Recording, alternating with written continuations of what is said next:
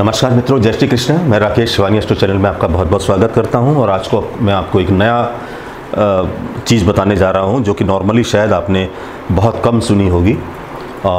किताबों में ज़रूर अवश्य है, जो ग्रंथ हैं हमारे, जय, जैसे फल दीपिका है बृहद पाराशरोरा शास्त्रा है, इसमें इस चीज़ का वर्णन ज़रूर मिलता है और किसी भी कुंडली के प्रोडक्शन करते समय इनको देखना बहुत ज़रूरी होता है। जैसे हमारे सात ग्रह हैं, सूर्य, चंद्रमा, मंगल, बुध, बृहस्पति, शनि और इसी प्रकार से हमारे दो छाया ग्रह हैं, जिनको हम राहु केतु बोलते हैं। और इसके अलावा पाँच हमारे ऐसे ग्रह हैं, जिनको हम अप्रकाशक ग्रह कहते हैं। अप्रकाशक ग्रह अप्रकाशक ग्रह। ये ग्रह होते हैं। ये ग्रह क्या होते हैं कि ये ग्रह अच्छे नहीं होते और कुंडली के जिस भाव में बैठते हैं, उस भाव की हानि करते हैं। दूसरी चीज़ ये कि इनको निकालने का एक तरीका है। वो कैसे निकालते हैं? इनको निकालने का तरीका है, क्योंकि आपने देखा कि यहाँ पर इस भाव के आपको बहुत अच्छे रिज़ल्ट मिलने वाले हैं, पाँचवें भाव के, कुंडली में आपने देखा। लेकिन आपको मालूम चला कि यार, इस भाव में तो अप्रकाशक ग्रह बैठा हुआ है तो वो इस भाव के रिजल्ट्स को कम कर देगा। तो बहुत ज़रूरी है कि प्रोडिक्शन करते समय प्रोडिक्शन किसी भी भाव की प्रोडिक्शन करते समय ये देख लें कि उस भाव में कहीं अप्रकाशक ग्रह तो नहीं बैठा हुआ है। या लग्न के साथ या लग्नेश के साथ कहीं अप्रकाशक ग्रह तो नहीं बैठा हुआ है। तो मैं आपको बताता हूँ कि अप्रकाशक ग्रह कौन कौन से होते हैं और उन्हें कैसे निकाला जाता है। सबसे पहले एक अप्रकाशक ग्रह है जिसका नाम है धूम। धूम निकालने के लिए सबसे जो तरीका होता है इसका, जैसे मैंने आपको यहाँ पे जातक की कुंडली दिखाई है, जो कि सुबह चार बज के छप्पन मिनट पे 25 अक्टूबर 1989 को पैदा हुआ है गाजियाबाद में। ये उसी कुंडली है कन्या लग्न की। और इसमें सूर्य तुला राशि में बैठे हैं, सेवन डिग्री फोर्टी मिनट्स के। ये इनका डिग्री और 49 मिनट्स इनका लॉन्गिट्यूड है, सूर्य का। अब सूर्य की वैल्यू में अगर हम जोड़ते हैं four sign pass 13 degree 20 minutes four sign pass means के चार राशियाँ चल चुकी हैं, पांचवी राशि है। 13 डिग्री 20 मिनट्स का लॉन्गिट्यूड इसका हो गया। अगर हम सूर्य की लॉन्गिट्यूड में ये वाला लॉन्गिट्यूड जोड़ देते हैं तो उससे हमको मिलता है धूम। जैसे मैं आपको बताना चाहता हूँ, अब देखिए, सूर्य की वैल्यू अगर हम देखना चाहें, कि सूर्य की वैल्यू इस कुंडली के हिसाब से क्या बनती है? सूर्य छह राशि पार कर चुका है, सातवीं राशि में बैठा हुआ है, इसलिए इसको लिखेंगे six sign pass six sign हमने लिखा है कि छह साइन निकल चुके हैं, सातवीं साइन राशि में है. Seven degree forty nine minute इसका लॉन्गिट्यूड है, वो हमने इसमें लिख लिया. और इसमें हम लोगों को ऐड करना है four sign pass four sign pass thirteen degree twenty minutes ये हमको इसमें ऐड करना है. तो इसको इसमें प्लस कर देंगे। तो ये हो जाएगा ten sign pass twenty degree 69 minutes और 60 मिनट का एक डिग्री होता है तो this will become 10 sign pass 21 degree 19 minute ये इसकी वैल्यू आ जाएगी। इसका मतलब हमारा जो धूम अप्रकाशक ग्रह है, वो कहाँ बैठा है? 10 साइन चल चुके हैं 10 राशियाँ चल चुके हैं, ग्यारहवीं राशि में बैठा हुआ है। यानी हमारा धूम यहाँ बैठा हुआ है।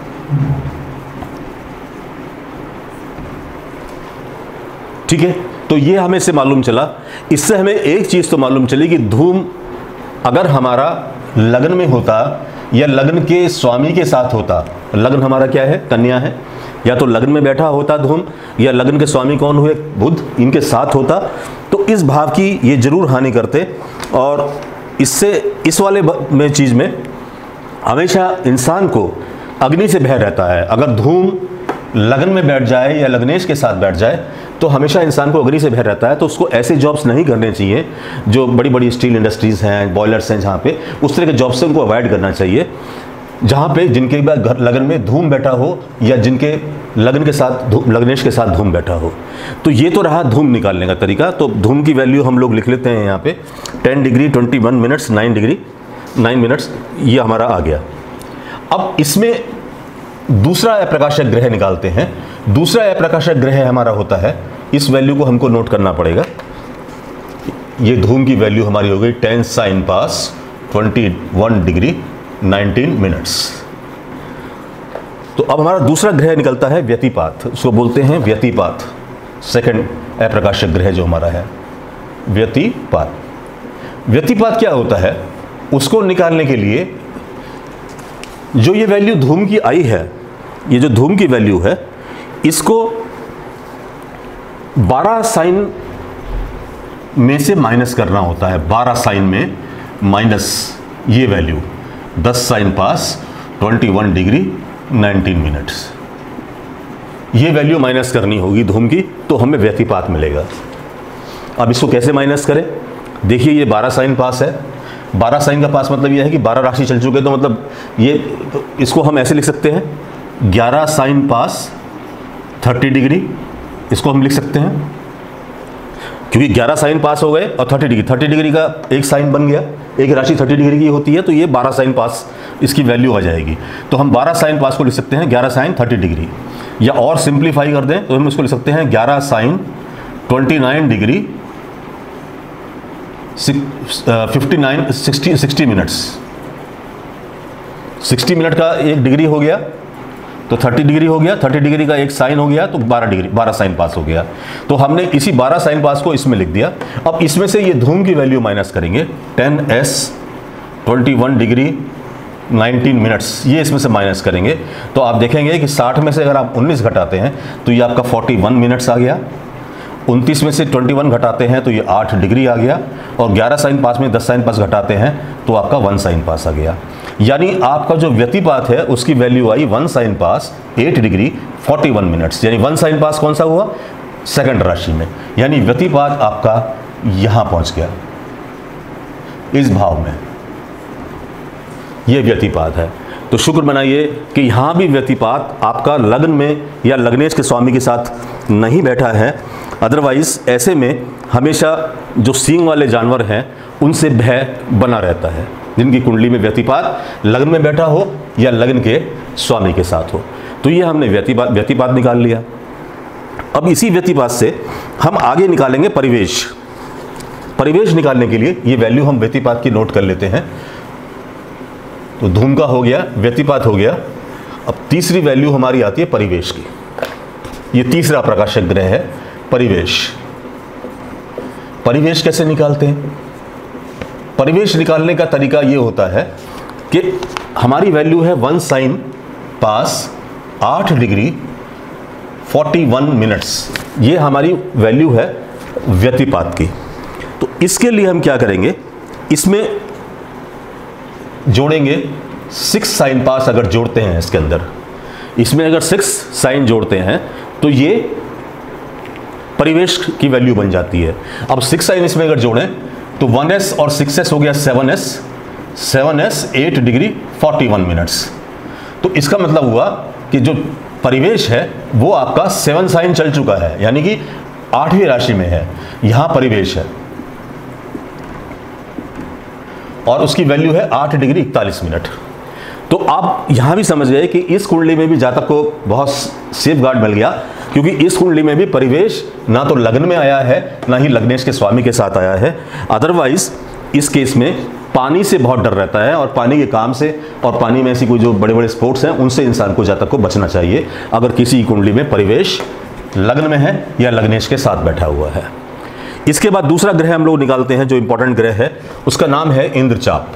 चौथा ग्रह, हमारा प्रकाशक ग्रह, उसको इंद्रचाप बोलते हैं। इंद्रचाप निकालने के लिए क्या होता है, जो परिवेश की वैल्यू होती है, उसको 12 साइन में से माइनस कर देते हैं। 12 साइन में से परिवेश की वैल्यू को माइनस करते हैं। 12 साइन माइनस परिवेश। तो इसको माइनस करने के लिए परिवेश की वैल्यू हमारी निकली हुई है सेवन साइन पाई समथिंग इसको माइनस करने के लिए क्या हम 12 साइन को ऐसा लिख सकते हैं? 12 साइन को हम लिख सकते हैं। 11 साइन पास 29 डिग्री 59 60 मिनट्स। ये हम इस वैल्यू को लिख सकते हैं। अगर देखें तो 60 मिनट का एक डिग्री हो गया तो ये 30 डिग्री बन गया। 30 डिग्री का एक साइन होता है तो ये 12 साइन बन गया। यानी 12 साइन को हम इस तरीके से लिख सकते हैं। तो 12 साइन को हमने इस तरीके से लिख दिया। अब इसमें से माइनस क्या करना है? माइनस करना है परिवेश की वैल्यू तो seven sign pass eight degree forty minutes ये हम इसमें मगर माइनस करते हैं। तो देखिए यहाँ पे बच्चे उन्नीस मिनट आपके। ये हो गया इक्कीस डिग्री। और ये हो गया फोर साइन पास। ग्यारह में से सात गए, चार बचे। यानी आपकी जो वैल्यू आई है four sign pass. Four sign pass means की पांचवी नंबर राशि में यहाँ यहाँ आपका इंद्रचाप हो गया। ये इंद्रचाप यहाँ बैठा हुआ है। यहाँ भी जातक को सेफ़ गार्ड मिल गया। ना तो यहाँ इंद्रचाप लग्न में है। ना ही लग्नेश में है। तो देखिए कितना सेफ़ गार्ड मिलता जा रहा है। तो ये चेक करना बहुत आवश्यक होता है। और जहाँ इंद्रचाप अगर लग्न में हो या लग्नेश में हो तो ऐसे जातक को जो माइनिंग वाले काम होते हैं, जहाँ खुदाई चलती है बहुत बड़ी बड़ी उनसे बचना चाहिए। उनसे थोड़ा सेफ़ गार्ड लेना चाहिए। तो यहाँ पे इंद्रचाप इनके इधर वाले इसमें आ गया। अब पांचवा एक अप्रकाशक ग्रह और है, जिसको हम बोलते हैं उपकेतु। तो इंद्रचाप की वैल्यू हमारी आ गई। अब आएगा हमारा उपकेतु। ये भी बहुत इंपॉर्टेंट है, उपकेतु। ये ऐसा है कि पांचवा ग्रह हमारा, उपकेतु। ये इस तरह का है, आप ये समझिए कि ये जहाँ बैठेगा, इसका लग्न से या लगने से लेना देना नहीं है मतलब कहीं भी बैठे ये। चाहे लग्न में बैठे, चाहे फ़र्स्ट हाउस में बैठे, चाहे फ़र्स्ट से लेकर बारहवें हाउस तक कहीं भी बैठ जाए, जिस भाव में बैठेगा, उस भाव की ये हानि करेगा। ये उपकेतु की वो होती है। इसलिए अगर हमने कुंडली में कोई निकाला कि इस भाव के रिज़ल्ट हमें बहुत अच्छे मिलने वाले हैं और बाई चांस इस भाव में उपकेतु बैठा हुआ है तो हमें इस भाव के रिज़ल्ट अच्छे नहीं मिल पाएँगे, जो कि हम सोच रहे थे। तो उपकेतु निकालने का तरीका है कि जो हमारी ये इंद्रचाप की वैल्यू आई है इंद्रचाप हमारा कितना था? Four sign pass 21 degree 19 minute. ये हमारा इंद्रचाप था। इस वैल्यू में हम लोग ऐड करेंगे 16 डिग्री 40 मिनट। 16 डिग्री 40 मिनट इसमें आपको ऐड करना है 16 डिग्री 40 मिनट्स। ये सिर्फ़ आपको इसमें ऐड करना है। तो कितना हो गया? 40 मिनट्स में ये जोड़ा तो ये दिस विल बिकम 59 मिनट्स ये हो गया 37 डिग्री। और ये हो गया फोर साइन पास 37 डिग्री को हम चेंज कर देंगे, क्योंकि एक साइन जो होता है हमारा वो 30 डिग्री के बराबर होता है। तो ये हम 30 डिग्री यहाँ चले गए तो ये हमारा हो गया फाइव साइन पास यहाँ सेवन डिग्री रह गए, और 59 मिनट्स यानी उपकेतु कहाँ पर आया? पाँच साइन पास। पाँच साइन पास मीन्स छठी राशि में। यहाँ। ये देखिए। यहाँ पर ये जातक को सेफ़ गार्ड नहीं हुआ क्योंकि यहाँ पर ये उपकेतु आ गया।